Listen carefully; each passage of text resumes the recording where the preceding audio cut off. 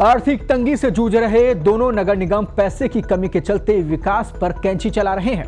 दोनों निगम के पास आय का सबसे बड़ा साधन है यूडी टैक्स लेकिन इसकी पूरी वसूली ही नहीं हो पाती, जिसकी वजह है दोनों नगर निगम परेशान हैं। हमेशा दोनों निगम पैसे की कमी का राग गाते रहते हैं। बकायेदारों पर नज़र डाली जाए तो दोनों नगर निगम के सबसे बड़े बकायेदार हैं सरकारी महकमे। ये महकमे निगम को पैसा नहीं चुकाते हैं और निगम भी इन पर सख्ती नहीं कर पाता, जिसकी वजह से इनका बकाया हर साल बढ़ता चला जा रहा है। एक अनुमान के मुताबिक ग्रेटर नगर निगम के करीब 35 करोड़ रुपए और हेरिटेज नगर निगम में करीब 18 करोड़ रुपए सरकारी संस्थानों पर बकाया चल रहे हैं। वर्तमान में चल रहे वित्तीय वर्ष 2022-23 में दोनों नगर निगम को अभी तक केवल 38 करोड़ रुपए के आसपास की राजस्व प्राप्त हुआ है।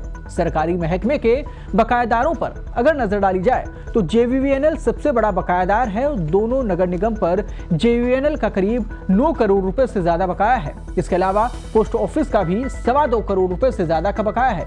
दोनों ही निगमों में अलग अलग बकायेदार हैं। इसी प्रकार की बड़ी और ताज़ा तरीन खबरों के लिए बने रहिए पत्रकार टीवी के डिजिटल प्लेटफॉर्म के साथ।